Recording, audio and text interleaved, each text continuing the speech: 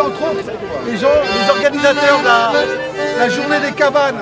Parce que c'est quand même euh, un endroit chouette et qui, je pense, a permis à pas mal d'entre vous de découvrir cette petite vallée et cette petite cabane. Allez les voir, je vous incite à aller les voir.